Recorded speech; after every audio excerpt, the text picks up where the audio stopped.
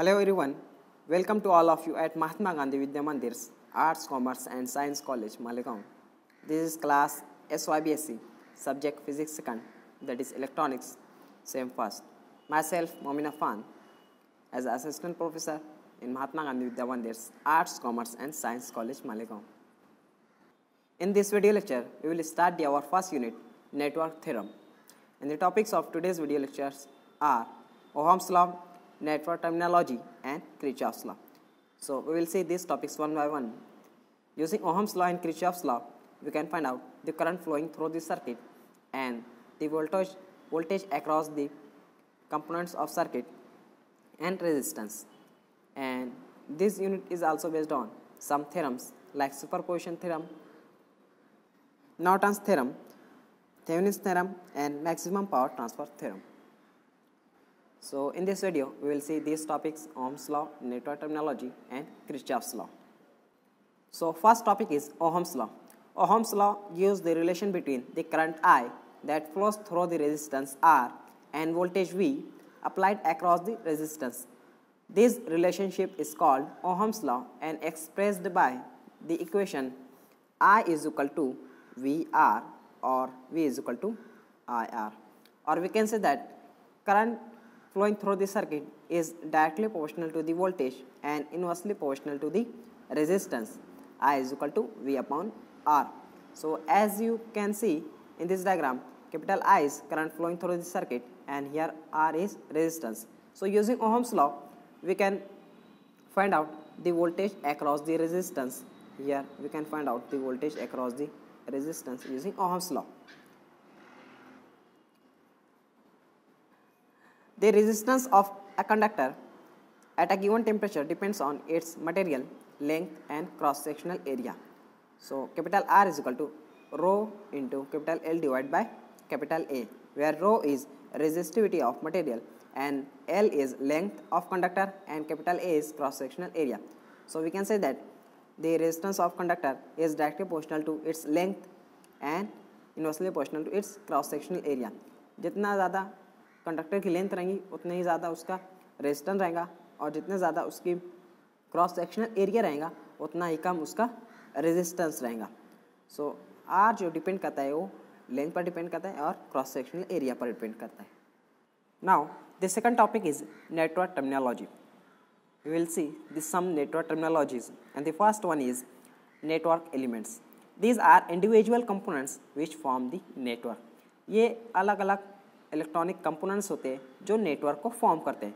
For example register हो गया capacitor हो गया बैटरी डायोड ये जो है तो network elements कहलाएँगे। Second one network network is a combination of various elements consisting of source of energy and components like resistor, capacitor etc interconnected in all sort of manner network जो है तो बहुत सारे network elements का combination होता है। जैसे हो गया resistor capacitor, source of energy, इन सभी नेटवर्क एलिमेंट्स को शॉर्ट ऑफ़ मैनर में कनेक्ट किया जाता है, एक साथ कनेक्ट किया जाता है और वो जो है तो नेटवर्क फॉर्म करता है। फॉर एग्ज़ाम्पल इस इस डायग्राम में ये रजिस्टर हो गया, ये कैपेसिटर हो गया, ये इंडिविजुअल कंपोनेंट्स हो गए, ये कहलाएँगे नेटवर्क एलिमेंट्स और इन नेटवर्क एलिमेंट्स को शॉर्ट ऑफ़ मैनर में मैंने कनेक्ट कर दिया, ये हो गया सोर्स ऑफ़ एनर्जी हो गया, ये बैटरी हो गई तो इन नेटवर्क एलिमेंट्स को मैंने एक एक साथ एक दूसरे से साथ कनेक्ट कर दिया गया। तो ये नेटवर्क फॉर्म हो जाता है। ये कहलाएगा नेटवर्क इसी तरह ये भी क्या कहलाएगा? एक नेटवर्क कहलाएगा। या फिर हम कह लेते उसे close circuit and third one is passive network a network containing circuit elements without source of EMF ऐसा नेटवर्क जिसमें सोर्स ऑफ़ ईएमएफ नहीं होता है। दूसरे नेटवर्क एलिमेंट्स तो होते हैं, लेकिन सोर्स ऑफ़ ईएमएफ नहीं होता है। इस तरह का जो नेटवर्क है, उसे हम कहते हैं passive network next active network a network containing source of EMF as well as other elements ऐसा नेटवर्क जिसमें सोर्स ऑफ़ ईएमएफ होता है, साथ ही साथ दूसरे एलिमेंट्स भी होते हैं। इस तरह का जो नेटवर्क है, वो कहलाता है एक्टिव नेटवर्क फॉर एग्ज़ाम्पल इस डायग्राम में, इस डायग्राम इस क्लोज सर्किट में यहाँ पर सोर्स ऑफ़ ईएमएफ है, यहाँ पर भी सोर्स ऑफ़ ईएमएफ है। तो सोर्स ऑफ़ ईएमएफ है और साथ ही साथ दूसरे नेटवर्क एलिमेंट्स भी है। रजिस्टर हो गया कैपेसिटर हो गया। तो ये जो नेटवर्क है, ये कहलाएगा एक्टिव नेटवर्क इसी तरह यहाँ पर रजिस्टर है कैपेसिटर है डायोड है और सोर्स ऑफ़ ई भी है। तो ये कहलाएगा, ये जो नेटवर्क है, ये कहलाएगा एक्टिव नेटवर्क अगर इस नेटवर्क में से हम सोर्स ऑफ़ ई निकाल देते हैं या फिर ऐसा नेटवर्क जिसमें सोर्स ऑफ़ ई नहीं होता है, ये पार्ट नहीं होता है, उसे हम कहेंगे passive network passive network and the next terminology is linear circuit. A circuit whose parameters are always constant irrespective of variation in current or voltage is known as linear circuit. ऐसा circuit जिसके parameter हमेशा constant रहते हैं। इस तरह का जो circuit है, वो कहलाता है लीनियर सर्किट इस तरह के सर्किट में वोल्टेज और करंट की जो वेरिएशन तो होती है, लेकिन जो दूसरे अदर कंपोनेंट्स है, उनके पैरामीटर ये तो कांस्टेंट रहते हैं। इस तरह का जो सर्किट है, वो कहलाता है linear circuit and next bilateral circuit it is that circuit whose characteristics are the same, irrespective of its direction of operation. Bilateral circuit ऐसा सर्किट है, जिसके कैरेक्टरिस्टिक्स हमेशा ये तो सेम रहते हैं। इसके कैरेक्टरिस्टिक्स इसके डायरेक्शन ऑफ़ ऑपरेशन पर डिपेंड नहीं करते। उसके डायरेक्शन ऑफ़ ऑपरेशन जो तो चेंज हो सकती है, लेकिन इसके कैरेक्टरिस्टिक्स चेंज नहीं होते, हमेशा सेम रहते इस तरह का जो सर्किट है, वो कहलाता है पायलेटरल सर्किट इसी तरह एक और सर्किट है unilateral circuit unilateral circuit a circuit whose characteristics are depends on its operation is called unilateral circuit जो यूनिलेटरल सर्किट है, वो उसके कैरेक्टरिस्टिक्स उसके डायरेक्शन ऑफ़ ऑपरेशन पर डिपेंड करते हैं। इस तरह का जो सर्किट है, वो यूनिलेटरल सर्किट कहलाता है।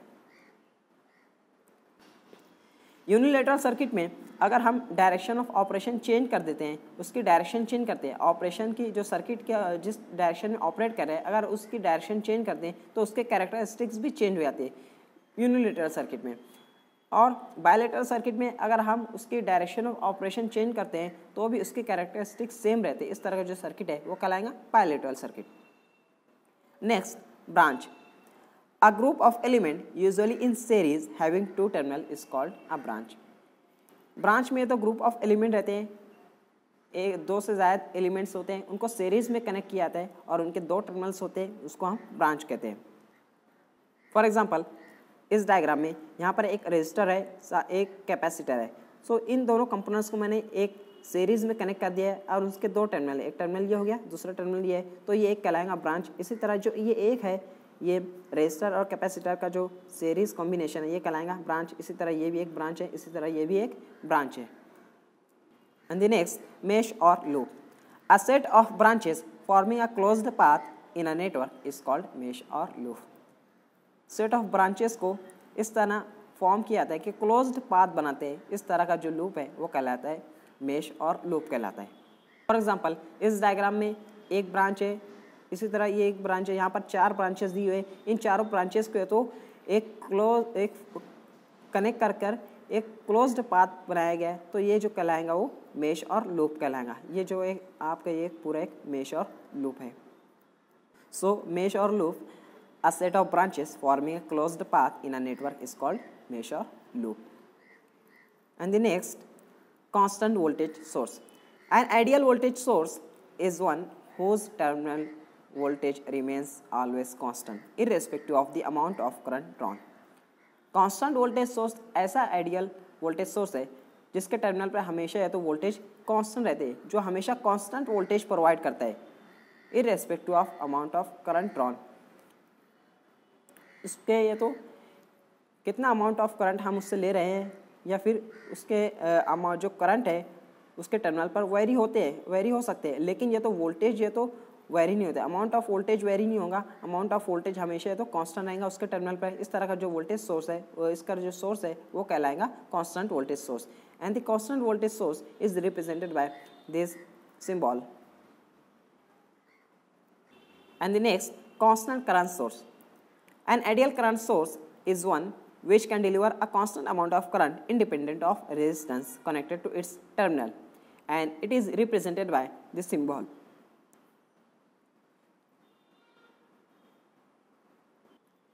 Constant current source वो होता है, जो हमेशा कांस्टेंट करंट जो तो प्रोवाइड करता है, हमेशा कांस्टेंट करंट डिलीवर करता है, चाहे उसके टर्मिनल पर ये तो रेजिस्टेंस कनेक्टेड हो या ना हो, वो हमेशा तो कांस्टेंट अमाउंट ऑफ़ करंट ये तो डिलीवर करेगा। और constant amount constant current source को हम इस सिंबल के ज़रिए रिप्रेजेंट करते हैं and this arrow arrow represent the positive direction of flow of current So I hope you understood the network terminologies, what is network elements, what is network, and active network, passive network, uh, linear circuit, bilateral circuit, and constant current source and constant voltage source.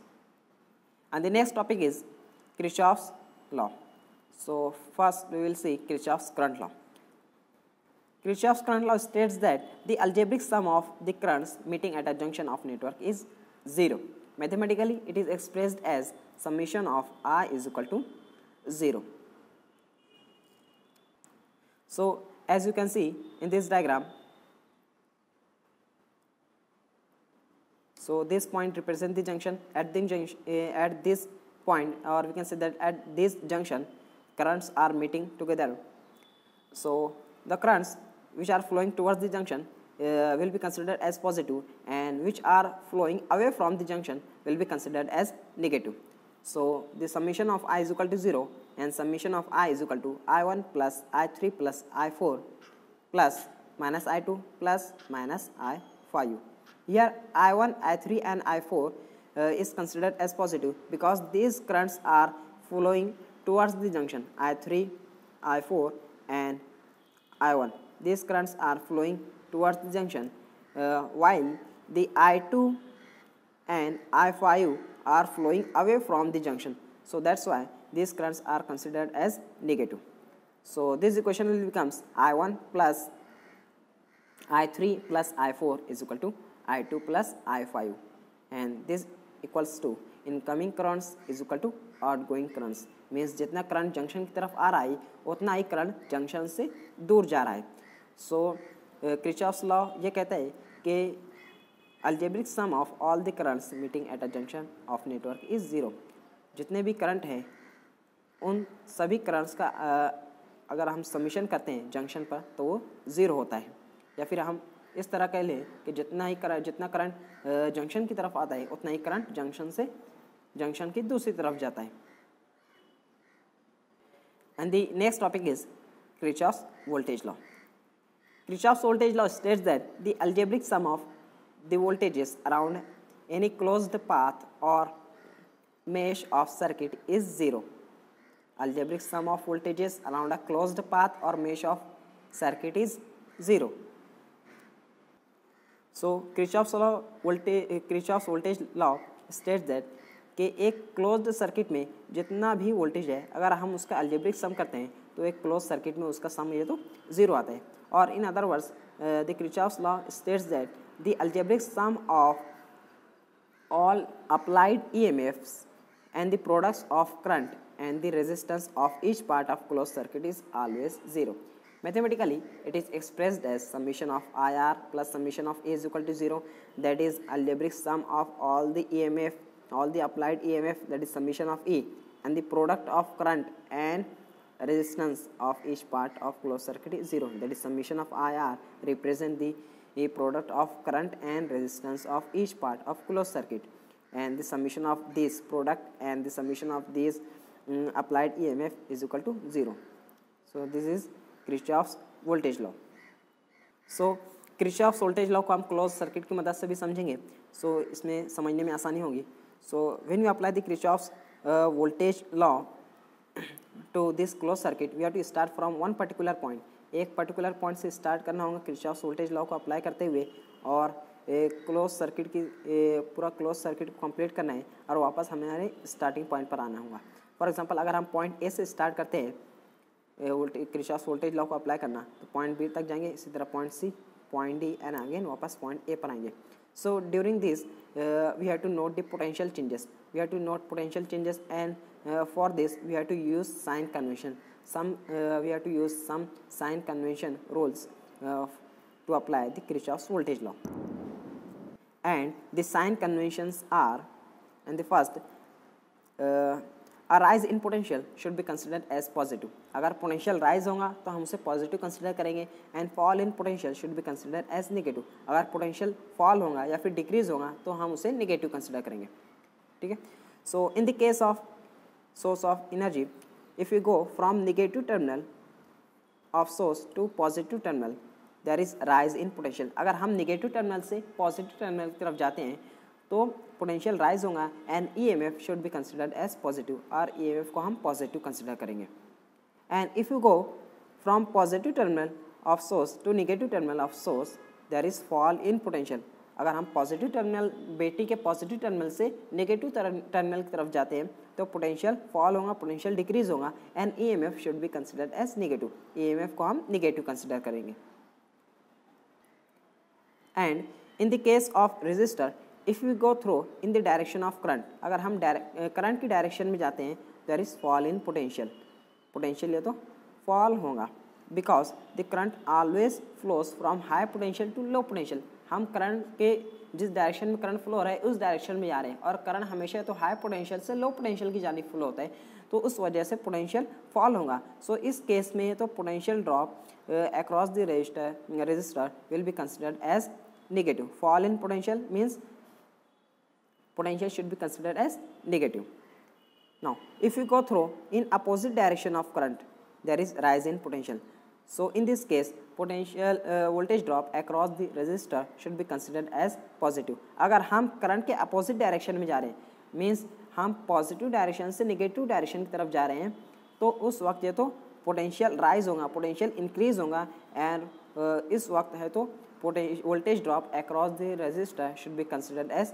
positive अब इसको हम uh, इस sign convention को close circuit में apply करेंगे तो समझने में आसानी होगी now consider this closed circuit we have to apply the Kirchhoff's voltage law using sign convention and we have to start to apply the Kirchhoff's voltage law from one particular point if we, we will choose point A and we will go around a closed path and reach uh, again the starting point. So we will start from the point A and we will go uh, towards the point B and point C.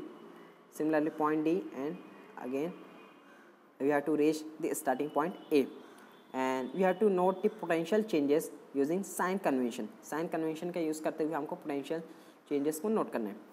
So, first point ऐसे start करते हैं point A से start करें तो हमारे पास पहला आता है सोर्स ऑफ़ ईएमएफ आता है that is source of energy that is E one and so here we are going from positive terminal to negative terminal हम पॉजिटिव टर्मिनल से निगेटिव टर्मिनल की तरफ़ जा रहे हैं तो हमने देखे थे in the case of source of energy अगर हम पॉजिटिव टर्मिनल से निगेटिव टर्मिनल की तरफ़ जाते हैं तो पोटेंशियल या तो फॉल होता है। सो so, इस केस में या तो E M F should be considered as negative so minus E one and उसके बाद यह आता है that is product of current and resistance और we can say that voltage drop across the resistance resistor.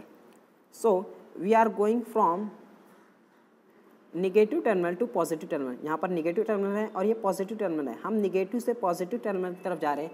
So we are going in opposite direction of current current जो है तो positive terminal से निगेटिव टर्मिनल की तरफ़ होता है। इस तरफ़ फ्लो रहा लेकिन हम अपोजिट डायरेक्शन में जा रहे हैं। हम लो पोटेंशियल से हाई पोटेंशियल की तरफ़ जा रहे हैं। So in this case voltage drop across the resistor should be considered as positive. Means product of current and resistor will be considered as positive. That is I1 plus I1 R1 so so, हम point B तक आ गए हैं। उसके बाद point B से point C की तरफ़ जाना है। सो अगेन जो होता है हमारे पास पहले जो आता है सोर्स ऑफ़ एनर्जी आता है। So we are going from negative terminal to positive terminal हम निगेटिव टर्मिनल से पॉजिटिव टर्मिनल की तरफ़ जा रहे हैं in the case of source of energy so if you go from negative terminal to positive terminal of source is a rise in potential.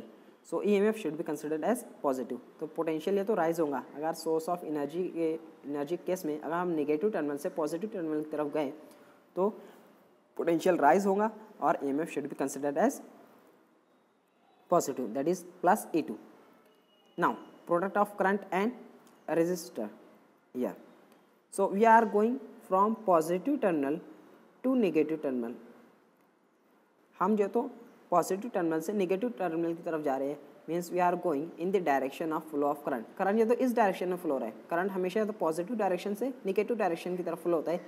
So in this case we are there is decrease in there is fall in potential potential fall हो रहा है, क्योंकि current ये तो high potential की potential से low potential की जानी फ्लो हो रहा है तो पोटेंशियल यहाँ पर फॉल होगा। So in this case voltage drop और product of current and resistor should be considered as negative that is minus I two R two okay so point C तक आ गए हम। पॉइंट सी से पॉइंट डी पर जाना है और पोटेंशियल चेंजेस को नोट करना है। सो अगेन जो तो we are going from positive terminal to negative terminal हम पॉजिटिव टर्मिनल से नेगेटिव टर्मिनल की तरफ़ जा रहे हैं। Means we are going in opposite direction of current so there is rise in sorry we are going in the in the direction of flow of current जिस direction में current flow हो रहा है, उस डायरेक्शन में आ रहे हैं. So there is fall in potential potential या तो फॉल होगा रेजिस्टर के केस में. So voltage drop across the should be considered as negative as negative. That is minus I3 R3 यहाँ पर minus I three R three now point D तक आ गए हम पॉइंट डी से पॉइंट ए पर जाने so again we are going in the direction of flow of current जिस डायरेक्शन में करंट फ्लो हो रहा है, उस डायरेक्शन में जा रहे हैं। तो यहाँ पर ये तो पोटेंशियल फॉल होगा पोटेंशियल डिक्रीज होगा और उस केस में तो करंट एंड रेजिस्टर का जो प्रोडक्ट है, हम उसे निगेटिव कंसिडर करेंगे या फिर हम कह लो voltage drop across the resistor should be considered as negative that is minus I four R four तो हमें याद रखना है, अगर ई एम एफ़ का केस है, अगर हम पॉजिटिव टर्मिनल से नेगेटिव टर्मिनल की तरफ़ जा रहे हैं तो ई एम एफ़ जो है तो नेगेटिव रहेगा। या फिर नेगेटिव से पॉजिटिव की तरफ़ जा रहे हैं हम तो ई एम एफ़ जो है तो पॉजिटिव रहेगा। अगर रजिस्टर के केस में हम पॉजिटिव से निगेटिव जा रहे हैं तो करंट एंड रजिस्टर का जो प्रोडक्ट है, वो निगेटिव रहेगा। या फिर हम निगेटिव से पॉजिटिव की तरफ़ जाते हैं तो करंट एंड रजिस्टर का प्रोडक्ट जो है तो पॉजिटिव रहेगा। So using sign convention sign convention का यूज़ करते हुए हमने क्रिचॉस वोल्टेज लॉ को अप्लाई किया है। So finally we got this equation minus E one plus I one R one plus E two minus I two R two minus I three R three minus I four R four is equal to zero so this is Kirchhoff's voltage law and the Kirchhoff's voltage law states that summation of all the applied E M F and the product of current and resistor of each component of close circuit is equal to zero so यहाँ पर summation of all the applied E है, ये हो गया E M F one and two and the product of current and resistor here here here this algebraic sum is equal to zero this is Kirchhoff's voltage law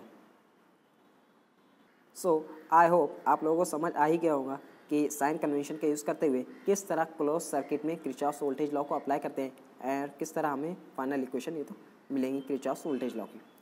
so so, ये था Kirchhoff's voltage law Kirchhoff's voltage law को याद रखना है। The algebraic sum of the voltage around a close path is equal to zero और we can say that the algebraic sum of all the applied EMF and the product of current and resistor of each part of uh, circuit is zero.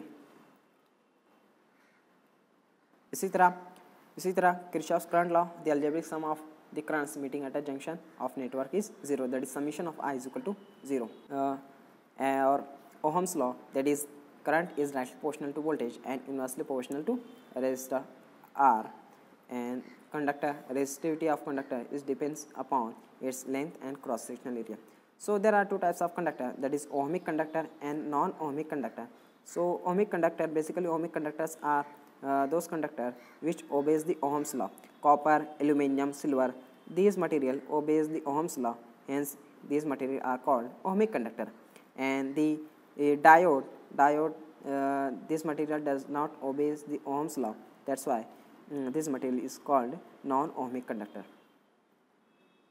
So, I hope you understood the Ohm's law, Kirchhoff's law, current law and voltage law and the network terminologies. So, this is enough for today's video lecture. In next video lecture, we will cover the next topics. So, thank you for watching this video. Thank you all of you.